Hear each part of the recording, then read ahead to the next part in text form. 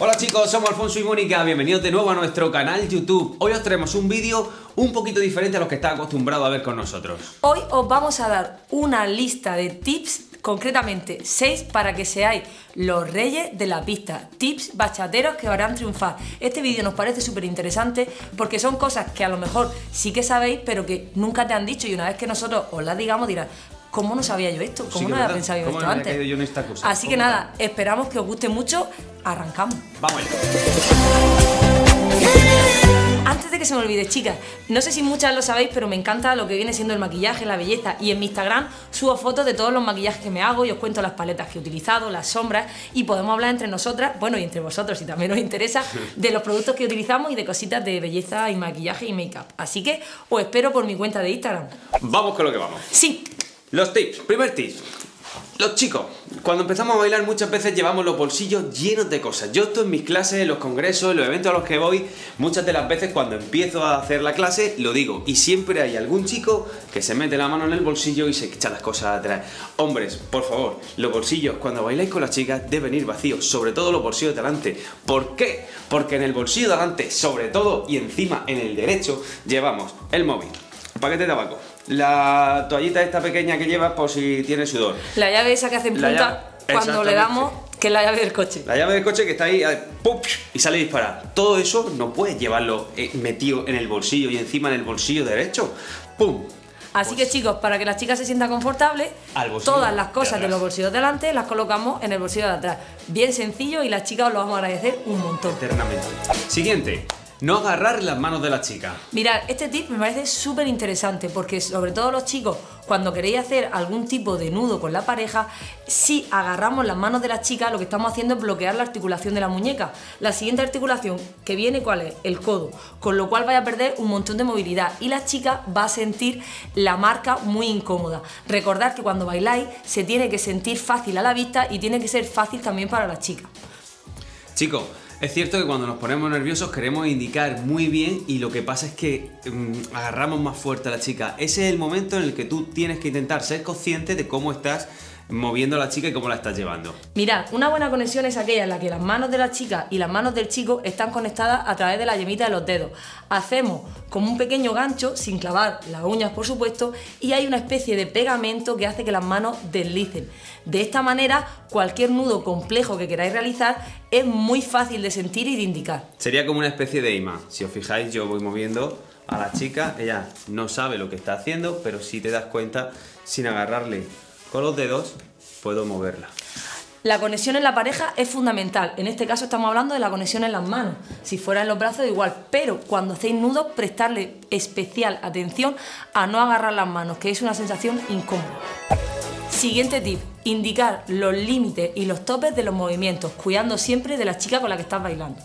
A ver, eh, para mí este punto es uno de los más importantes y es los trucos que van a hacer chicos que todas las chicas queramos bailar contigo.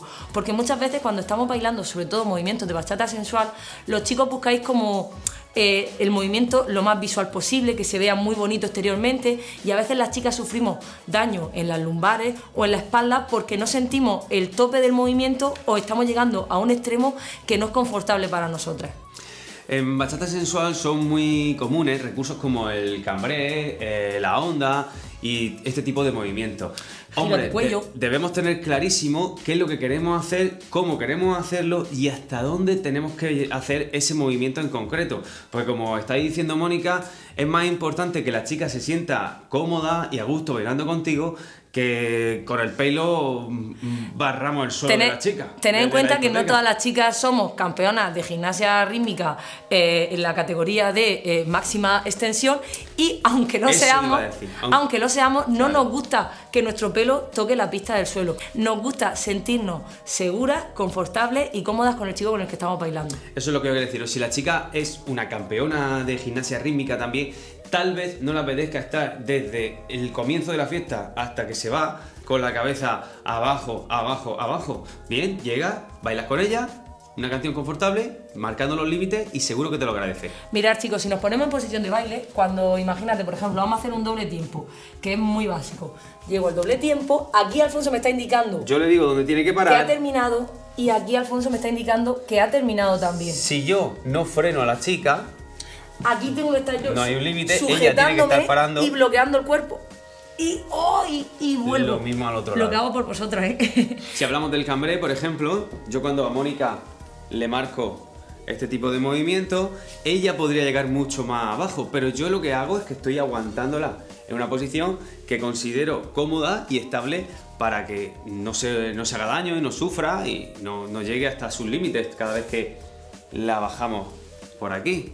Si os fijáis, ella podría, te lo hago, bajar muchísimo más. Pero si a cada canción le hacen eso, puede morir, ¿eh?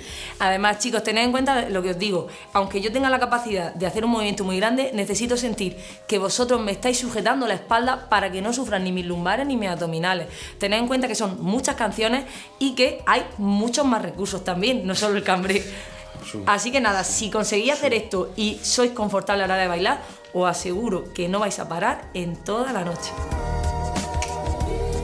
Siguiente consejo, prepara siempre tu kit del bailador, bailadora para estar perfecto en la pista de baile. Imagínate esta situación, son las 4 de la mañana, ya bailando todas las bachatas que han sonado porque son súper temazos y te lo estás pasando súper bien.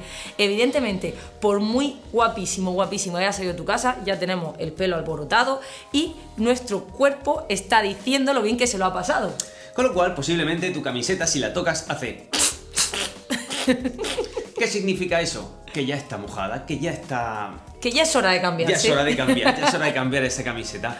Por lo tanto, nosotros, ¿qué hacemos? ¿Qué te recomendamos? Que lleves tu kit del bailador. ¿Qué incluye eso? Es una bolsita Una colonia, un desodorante, una camiseta, o dos, o tres, o cuatro, o cinco, o seis, o siete, o ocho, camisetas de repuesto, Eso va a asegurar. que- unas toallitas. Unas toallitas, exactamente. Esto que va a hacer que a cualquier hora estés perfecto, perfecta para bailar. Y de verdad que no hay nada más maravilloso que que sean las 4 de la mañana, que alguien te pida baile, que le digas que sí. Y que te diga, ah, acabas de llegar. Y tú, Estás "No, muy perfumado". Llevo mi kit del bailador.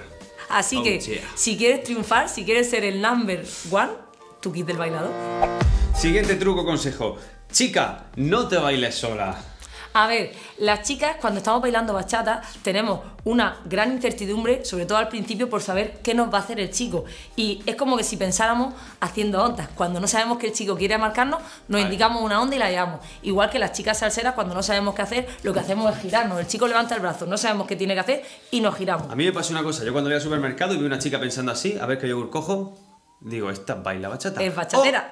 Si está pensando, ¿cuál cojo, cuál cojo, cuál cojo, cuál cojo? Esa es salsera, esa es. Entonces, ¿qué queremos decir? Aunque las chicas tengamos mucha preocupación por la onda, chicas, no os bailéis solas. Esperar a que el chico os sorprenda. A mí me encanta decir una frase en las clases. Las mujeres somos un lienzo en blanco sobre el que el hombre dibuja, pinta su baile. Ha sido maravilloso y precioso. Con lo cual, chicas, tenemos que tener el cuerpo preparado y activo para que el chico nos indique lo que quiera. Os vamos a poner un ejemplo. Hay momentos en los que yo hago esto para, por ejemplo, girar a la chica, Y pero, de repente, ¿qué yo es lo que pasa? decido que esto es esto. ¿Y entonces qué? Imagínate, imagínate que el chico no sabe hacer eso de la cabeza. Y él está aquí contigo, va a bailar y va a hacer su giro que acaba de aprender. Y de repente le pasa eso. Claro, él va a decir, Dios, chaval, qué guapo lo que he hecho. No sabe ni cómo lo ha hecho. Si Os no puedo lo ha hecho él. asegurar Es en este no momento, hecho. en este momento en la cabeza del chico hay un monito haciendo así. Se- Seguro, seguro, seguro. O sea, lo Ha acabas, cortocircuitado. lo acabas de bloquear. Dejad que el chico os muestre cómo siente él la canción. Que no hay una sensación más guay que la, la sorpresa de ver cómo el chico está interpretando la música. Es una sensación que nosotros tenemos la suerte de poder experimentar. Bueno, pues hasta aquí este último consejo. Uy, no el último. Siguiente truco, chico, chica, baila pequeñito y para tu pareja. Esto es algo que cuando comienza a bailar se nota muchísimo porque la- las, parejas de iniciación, los beginners, siempre ocupan muchísimo sitio en la pista de baile. No sé si te has fijado que, por ejemplo, haciendo un básico de bachata, uno, dos, tres y uno, dos, tres, van de un lado al otro, van a marcar un giro, suben el brazo, se van para un lado, se vienen para el otro. Poquito a poco debéis, en la medida de lo posible, intentar hacer vuestro básico y vuestra, vuestra marca con la chica lo más pequeñito posible. También ocurre a veces que hay, eh, los chicos y las chicas vemos las coreografías de las parejas que hacen en el escenario para el show y queremos imitar los movimientos que se hacen muy grandes para que lleguen al público. Pero bailar en el social es diferente, es un lenguaje entre tu pareja y tú. Lo importante es que ella disfrute bailando contigo. Además de que lo más normal es que haya otras muchas parejas bailando a tu lado. No puedes ocupar la pista solo para ti. Además, no hay nada mejor Que bailar pequeñito y con tu pareja, sintiendo el baile. Con ella en el sitio, cuanto más pequeñito, más sensual, más tranquilo, más romántico se os va a ver. y más control de los movimientos vas a tener y más control de la música. Así que en el social Baila pequeñito. Y hasta aquí nuestro vídeo de trucos para ser un gran bailador en la pista. Esperamos que os hayan servido, que os sean útiles, aprovecharlos y aquellos que más te gusten, pues nos los podéis ir comentando. Si os ha gustado este vídeo, si queréis más vídeos de este tipo, ponednos en los comentarios de abajo. Y recordad que los mejores bailes son los que están por venir. Nos vemos pronto. ¡Mua!